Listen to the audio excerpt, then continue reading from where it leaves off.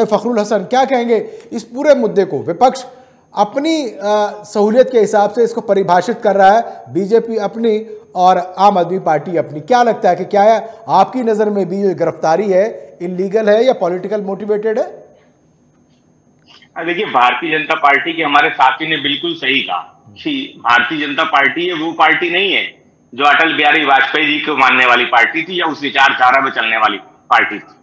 ये ये दूसरे लोगों को तो आईना दिखाते हैं कि आप अन्ना आंदोलन से निकली पार्टी नहीं। अरे अरे आप आप भी अन्ना आपकी जो पार्टी है भारतीय जनता पार्टी वो अटल बिहारी वाजपेयी जी वाली पार्टी नहीं है। क्योंकि अटल बिहारी वाजपेयी जी विपक्ष के लोगों का भी सम्मान करते थे और ये जो भारतीय जनता पार्टी आज की पार्टी है इसको इसका केवल और केवल एक काम है कि विपक्षी जो दल हैं उनके नेता हैं हम्म। उनके खिलाफ मुकदमे लिखे जाए उनके खिलाफ सीबीआई और ईडी की कार्रवाई की जाए। और मैं तो पूछता हूँ भारतीय जनता पार्टी हम समाजवादी लोग सिसोदिया जी की गिरफ्तारी की निंदा करते हैं हम्म। भारतीय जनता पार्टी बताए कि जो सत्ता पक्ष में बैठे हुए लोग हैं जिन पे लगातार मुकदमे हैं जिन पे घोटालों पे खुले बंगाल से लेके आप कन्याकुमारी तक चले जाइए कश्मीर तक चले जाइए जिस राज्य में चले जाइए भारतीय जनता पार्टी ने एक मशीन खरीद रखी है और जो भी विपक्ष का दूसरा लीडर जिसपे कोई मुकदमे हुए या कोई भ्रष्टाचार में फंसा उसको उस मशीन में डालते हो निकाल लेते आप बताओ उनके खिलाफ क्या कार्रवाई की आपने? हम्म, हम्म। आपने उनको जेल क्यों नहीं भेजा?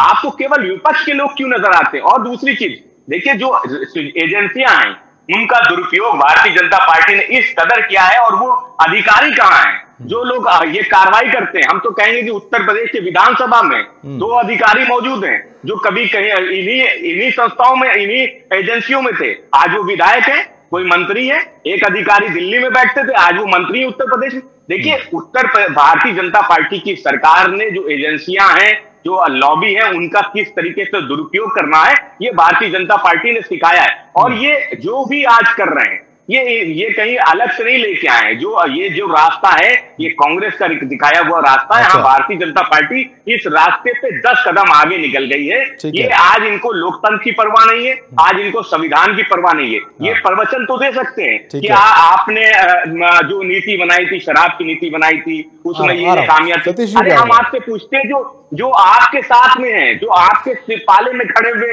लोग हैं उन पे जो आरोप है उनको कब जेल भेजेंगे? पाला पाला बनाया जा रहा है। क्यों? आ, मुझे बता दें क्योंकि अब आप और क्या नाम है सपा जो है उनमें थोड़ी सी नज़दीकियाँ नज़र आ रही है तो मुझे लगता है कि बयानों में भी वो नज़दीकियाँ साफ़ झलक रही